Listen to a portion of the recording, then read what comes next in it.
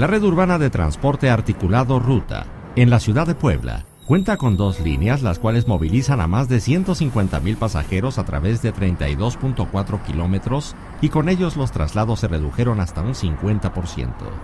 En entrevista con Notimex, el subsecretario de Transportes, Alberto Vivas Arroyo, dijo que además ya se prepara la tercera línea para sumar un total de 47.7 kilómetros.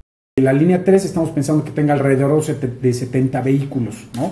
En, alrededor de 15.3 kilómetros. Y las características de este sistema, ya de la línea 3, es que van a ser a gas natural, ¿no? En su mayoría las unidades van a ser a gas natural, que es una de, eh, eh, de las partes que el gobernador ha platicado conjunto con, con Banobras y, con, y con, ahora sí que con los especialistas, con la finalidad de dar a Puebla ya también otro esquema de ir siendo amigables ya con el medio ambiente.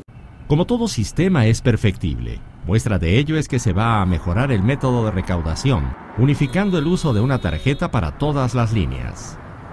Estamos en un proceso de integración, eh, de homologación de tarjeta, de integración con el tren turístico y tendríamos las bases para tener también una integración física y tecnológica con la línea 3. Hemos detectado algunas, algunas inconsistencias, algunas quejas de ciudadanos principalmente, nos dicen, oye, se tarda mucho, principalmente, por ejemplo, la zona sur de la ciudad, ¿no? Hoy es que se tarda mucho, las, las alimentadas no pasan.